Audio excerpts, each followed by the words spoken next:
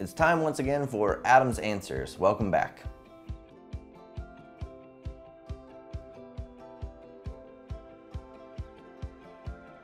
The real difference between an agent and a broker is somewhat minimal. An agent takes their tests after they take the certain amount of hours in a classroom and pass. They then take their continued education yearly that's required from each individual state. A broker can then take more classes and go above and beyond to actually open up their own agency where they can then hire agents to work.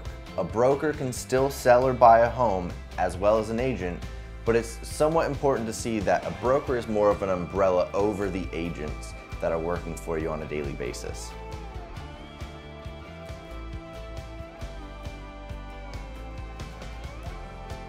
Seller brokers represent the person selling the home and then buying brokers represent the person buying the home. Now, in some instances, there can be an agent representing the buyer that works for the same broker as the agent listing the seller. This is known as dual agency and is actually very common in quite a few states.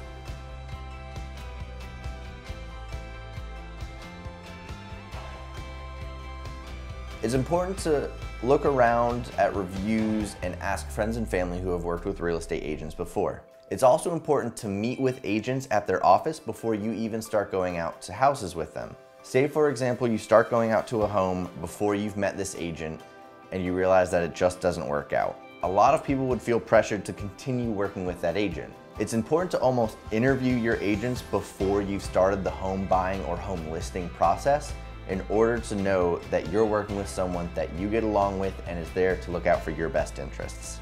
It's important for you to realize that you're never bothering your agent. At the end of the day, your agent does not get paid until you get the results you're looking for, whether that be giving handed the keys to the new home at your closing or being given a check for selling your home. A lot of buyers don't understand that agents do not get paid hourly, they get paid by commission. So if you are going to an open house without your agent there to represent you, it's important to let the other agent know that you're working with someone already. Again, thank you guys so much for joining me with Adam's Answers. I'm really looking forward to talking to you guys next week. Have a great one.